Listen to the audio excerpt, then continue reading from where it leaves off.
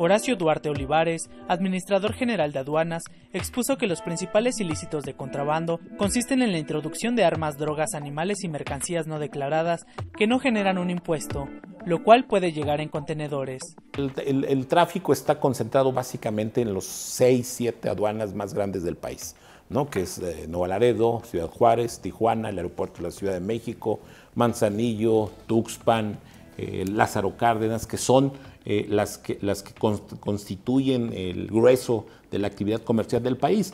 Por eso en esos, en esos lugares es donde la estrategia tendrá que eh, eh, focalizarse de manera mucho más eficiente. Otros de los mayores problemas actualmente en aduanas estriben que los importadores no reportan el volumen correcto o subvalúan los precios de las mercancías. Vamos a ir demostrando que puede ir incrementándose los ingresos si cumplimos con honestidad teniendo funcionarios probos en las aduanas.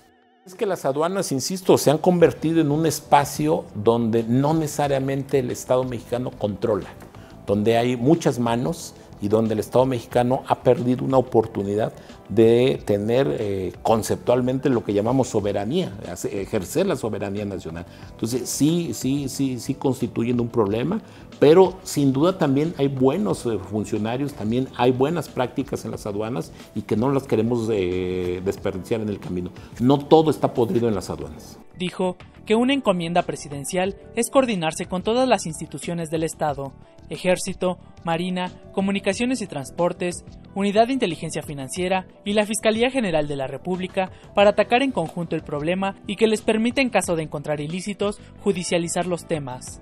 No perdiendo de vista que los dos objetivos fundamentales de las aduanas es el ingreso de recursos fiscales a través del comercio y dos, garantizar también la parte que tiene que ver con la seguridad, con que no ingresen eh, eh, mercancías ilícitas al mercado nacional. De manera mayoritaria drogas y de manera mayoritaria armas.